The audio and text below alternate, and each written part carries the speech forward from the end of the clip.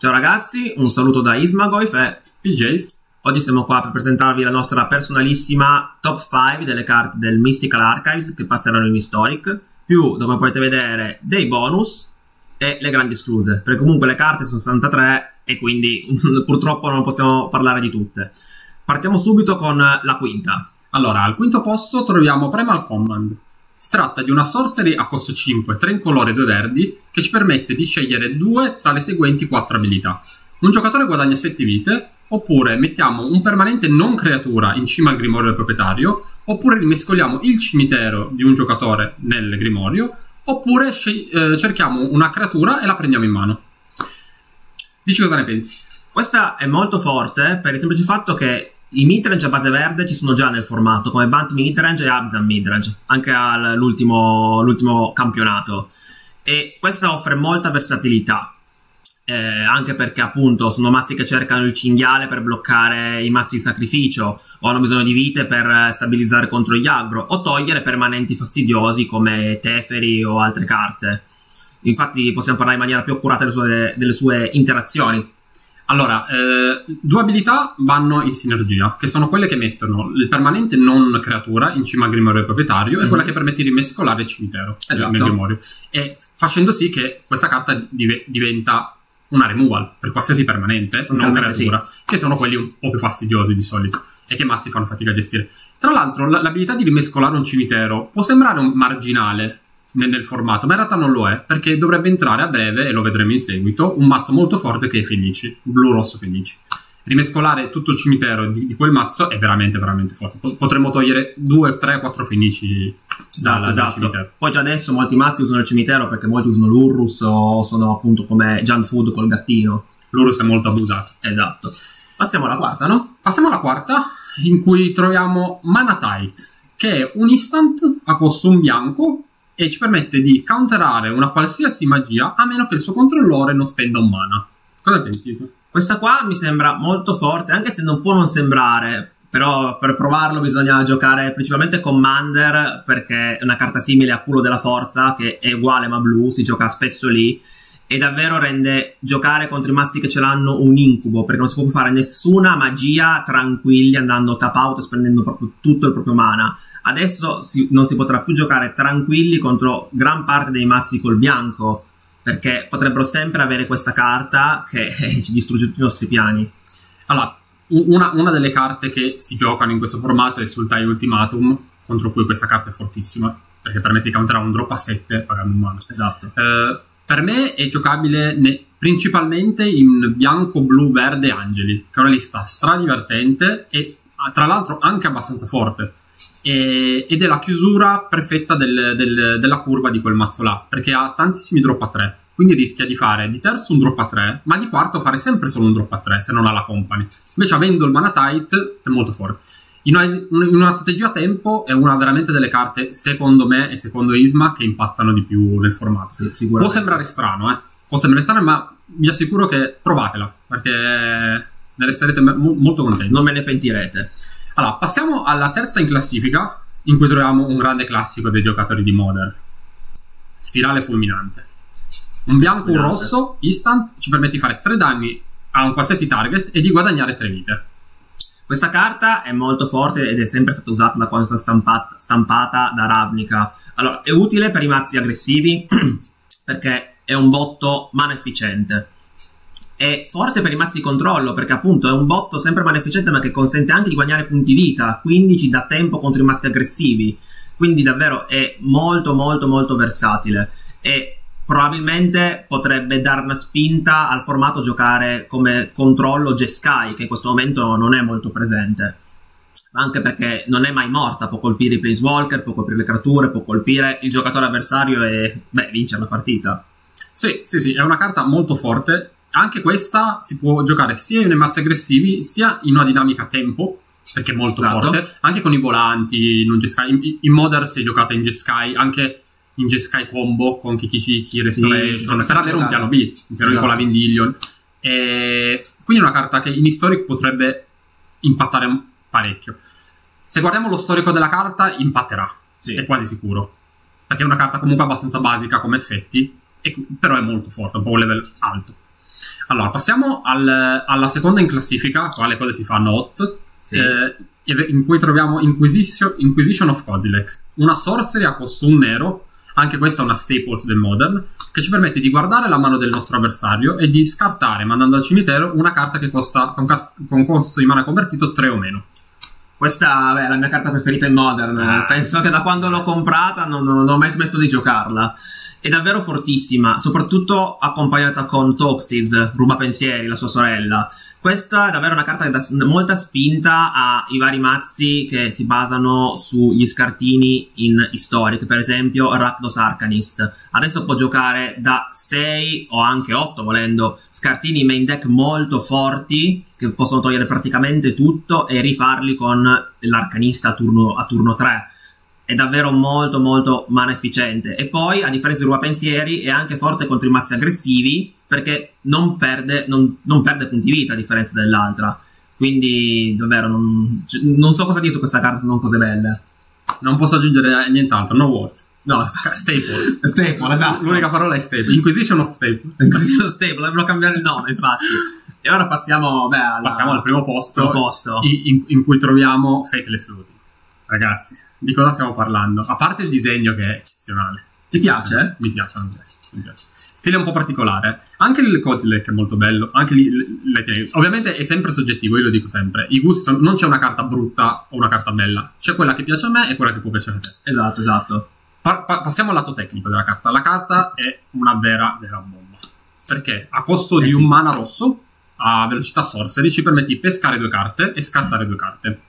Ha anche l'abilità flashback, che è una delle, delle abilità, possiamo dirlo, una delle abilità più forti di Magic, oggettivamente. Ci permette di rigiocare la carta dal cimitero pagando tre mana. E dove la troveremo? In quali mazzi? Beh, la troveremo sicuramente in Fenici perché gli dà una spinta incredibile, quindi probabilmente Fenici verrà giocato. Già adesso è borderline, non è tier 1, ma è lì che rischia. Con questa ha una spinta incredibile. E poi la troviamo anche di nuovo in, in eh, Rakdos Arcanis perché permette sostanzialmente di selezionare le carte e poi soprattutto è uno permette di togliere gli scartini quando ormai non servono più, perché come, come abbiamo già detto ne giocheremo tanti, Inquisition e Ruba Pensieri, e quindi dopo un po' quando l'avversario al top deck non ci servono più, li possiamo tranquillamente scartare e riciclarli. E poi una spe- punto 2 è una spell che costa poco, quindi ci permette di fare le pedine facilmente col piromante. Oltre vabbè, la selezione delle carte per cercare la risposta giusta al momento giusto, perché siamo un mazzo comunque che cerca di accompagnare la risposta giusta alla minaccia dell'avversario e non sempre ce l'abbiamo, questo ci permette di cercarla. Ha la carta molto versatile che ci permette di migliorare anche i matchup post side, perché ci permette di cercare Molto. la side, quindi ci permette e tra l'altro ci permette di tenere mani veramente veramente al limite. Tipo mani a una terra on the draw, con questa carta qua in mano le puoi tenere tranquillamente. Esatto, esatto. Che invece non puoi farlo e già con Opt o gli altri peschini del formato, mm, esatto. sarebbero mani molto a rischio. Invece questa è una carta veramente forte, ti permette di pescare due e scartare due.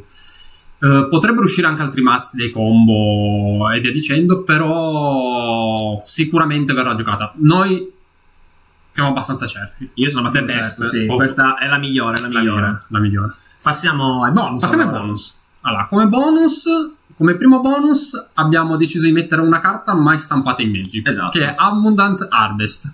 Eh, al costo di un verde ci permette di scegliere, a velocità sorcery, ci permette di scegliere o eh, terra o non terra. Rivelare dalla cima del mazzo finché non troviamo una carta che ha quel tipo di, di carta, quindi terra o non terra in base a quello che sceglieremo, Mhm. e di prenderla in mano. Le altre le mescoliamo in fondo in ordine randomico. Che ne pensi? L'abbiamo messa come bonus eh, perché è complicata da valutare. Sarebbe un Once Upon a Time in versione corretta, in versione fair, non incredibilmente forte e sbroccata come si suole dire. E mm, e anche tra l'altro è particolare, quindi è un bonus perfetto, perché questa carta è diciamo uno dei primi esempi di pre-stampa, perché uscirà in realtà in modo Horizon 2. Che uscirà a maggio, Esatto. ricordiamolo. Quindi è strano che abbiano fatto una cosa del genere.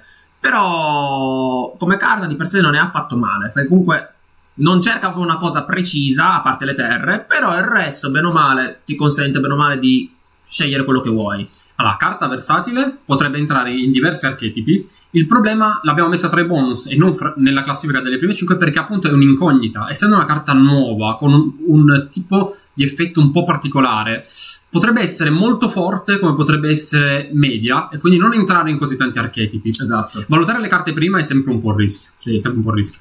Su carte che non hanno uno storico è veramente difficile. Noi ci sentiamo comunque di metterla tra quelle con un potenziale. Sì. Passiamo alla seconda bonus in cui troviamo Chaos Warp. Ecco, questa invece è una ristampa.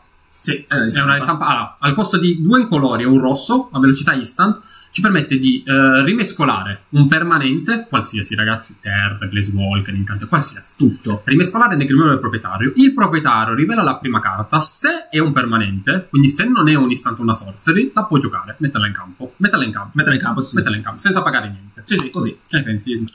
Questa è molto particolare, però, ragazzi, secondo me è davvero molto forte. Allora, è, è un po' complicato, bisogna fare un po' un ragionamento. Allora, quando voi tirate una rimozione su qualcosa, tendenzialmente per questo qualcosa vi dà molto fastidio e tendenzialmente, beh, vi, vi fa perdere, no? Allora, se voi togliete dalle scatole, non so, Teferi o qualcosa con questa carta, mal che vada, l'altro gli mette una, una minaccia equa- equamente potente. Però, sulla cima del grimorio, spesso, no- visto che i mazzi hanno questa composizione, almeno il 30% so, di terre, è facile che ci sia una terra.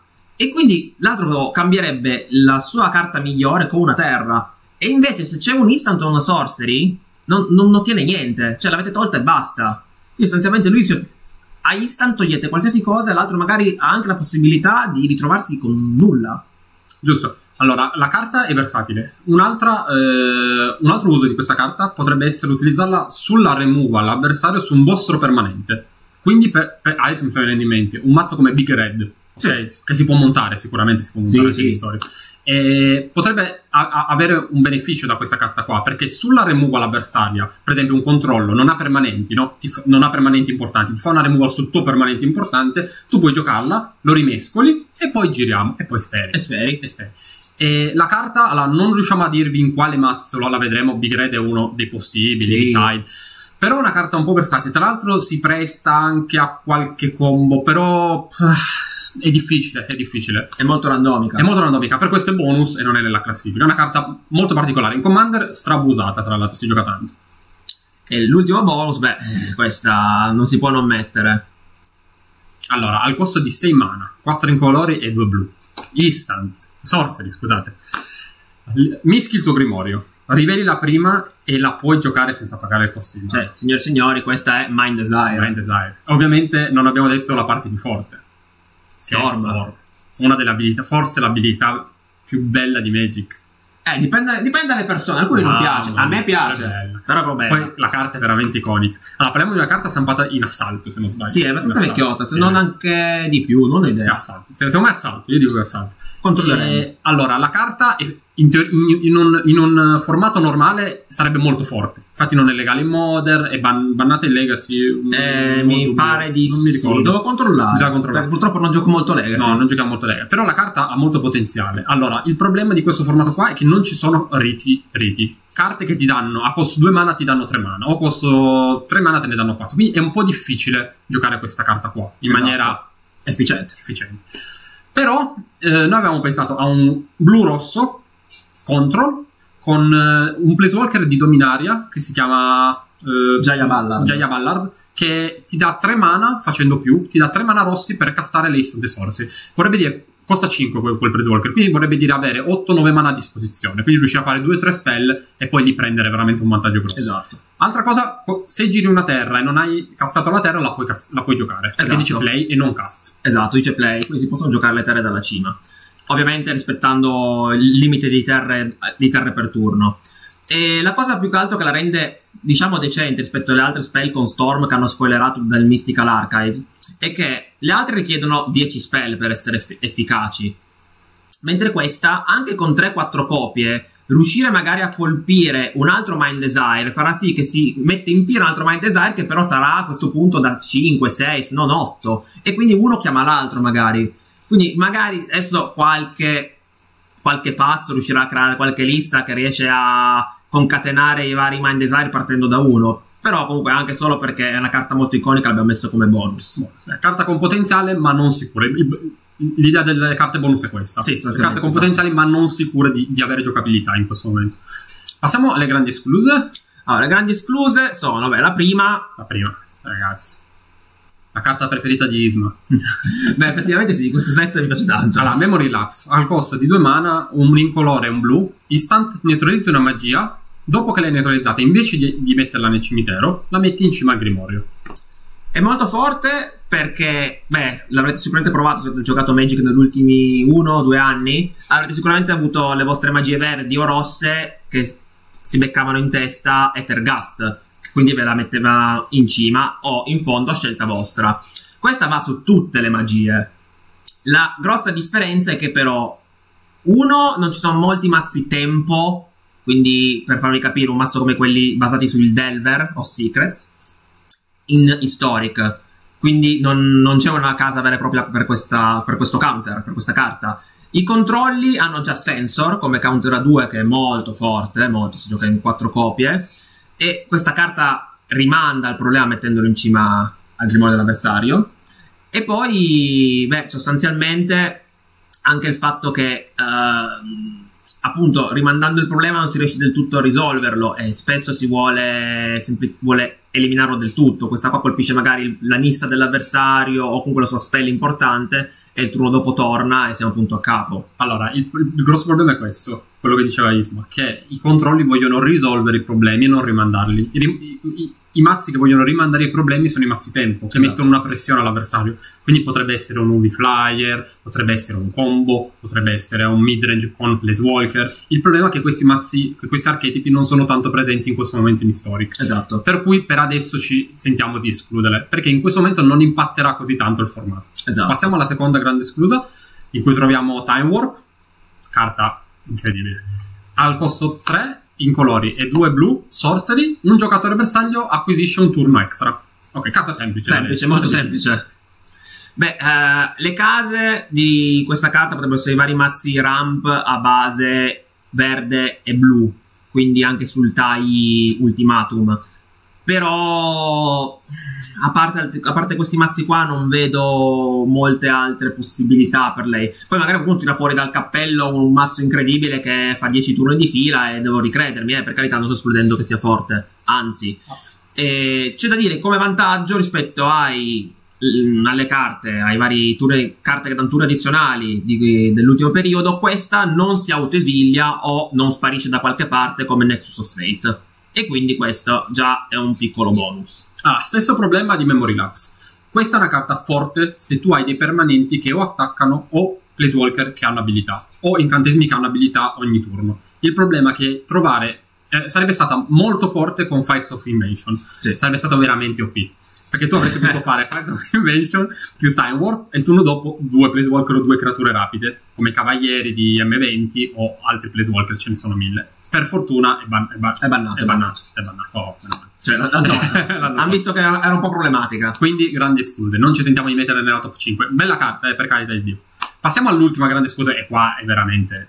Sicuramente ci, ci sarà tanto da discutere. Anche lei è molto iconica. Sa- sare- saremo tanti, eh, tanto criticati, probabilmente. Allora, parliamo di Tempesta Cerebrale, in inglese Brains. Al costo di un blu, instant, potremo pescare tre carte a unirle alla nostra mano e mettere due carte dalla nostra mano in cima al grimorio nell'ordine eh, che, che vogliamo. Sì. E...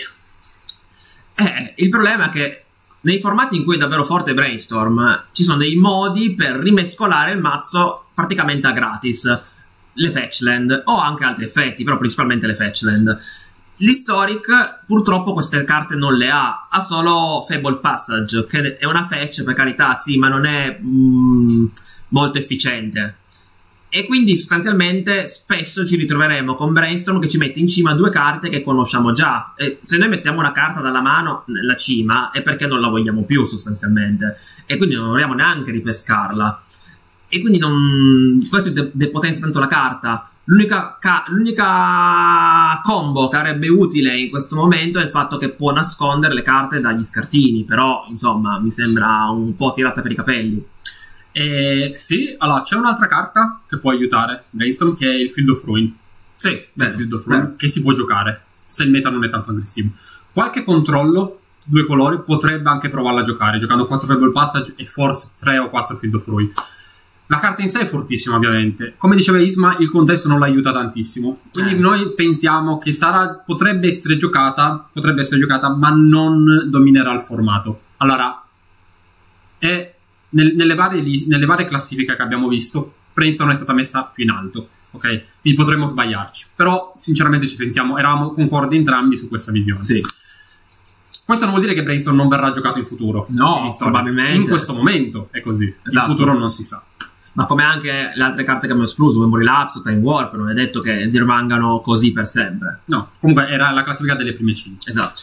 Allora ragazzi, vi ringraziamo tantissimo, iscrivetevi al canale, riempite di mi piace, condividete ai vostri amici. Criticate, Dai. tanto siamo Sì, forti, possiamo sì. prendere le critiche. Vi- Visto che non ci segue nessuno per adesso, possiamo anche rispondervi. Sì, infatti, abbiamo addirittura tempo. Vi, vi rispondiamo. Un saluto. Tutto ragazzi. questo, esatto, un saluto. Un saluto da. Ismagoif. Eh, eh, siamo- Eh, no, ci siamo da impappinati. Ismogov e Pizzi. Questa non la tagliamo.